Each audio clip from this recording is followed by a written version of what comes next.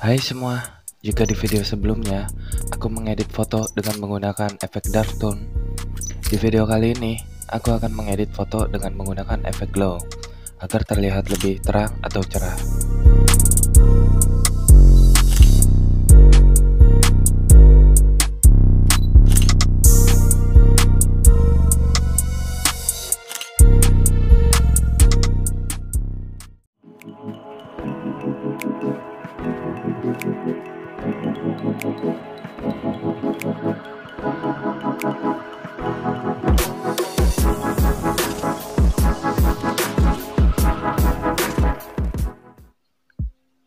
Oke, langsung saja di sini kita buka aplikasi Adobe Lightroom.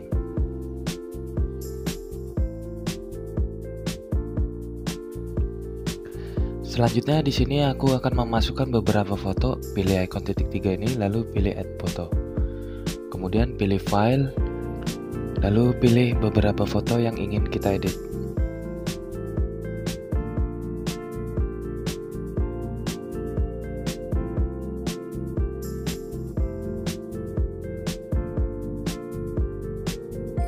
Oke, selanjutnya di sini aku akan memilih foto yang ini.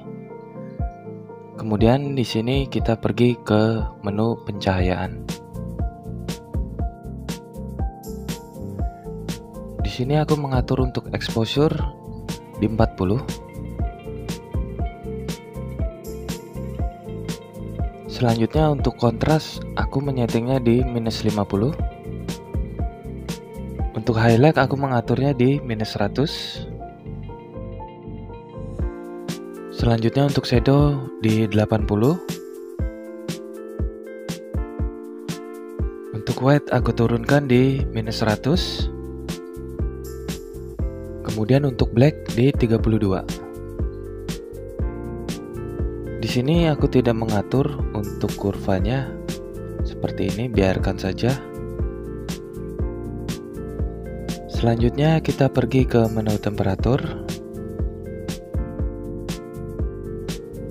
Untuk temperatur aku menurunkannya di minus 10 Kemudian untuk tint di 6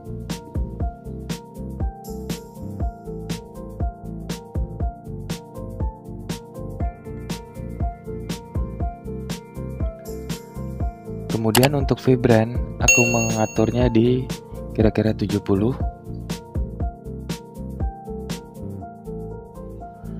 Lalu untuk saturasi aku mengaturnya di 15. Untuk warna di sini aku tidak menyetingnya.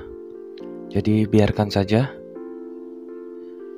Kemudian kita pergi ke menu yang ini. Tekstur aku mengaturnya di 10. Lalu untuk clarity aku mengaturnya di 15.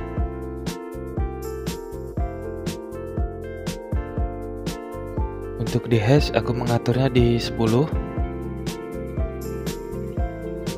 Kemudian untuk pengaturan vignette biarkan saja Jadi langsung saja kita pergi ke menu ketajaman Untuk sharpening aku mengaturnya di 15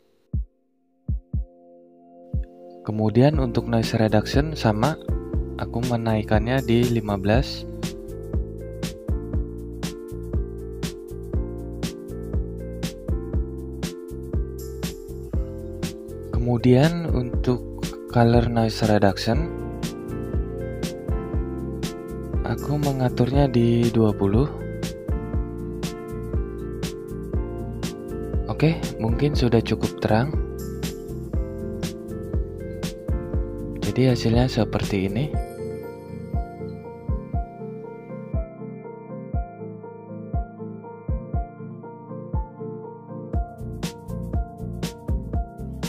Selanjutnya untuk menyimpan kita pilih icon share ini lalu pilih save to device.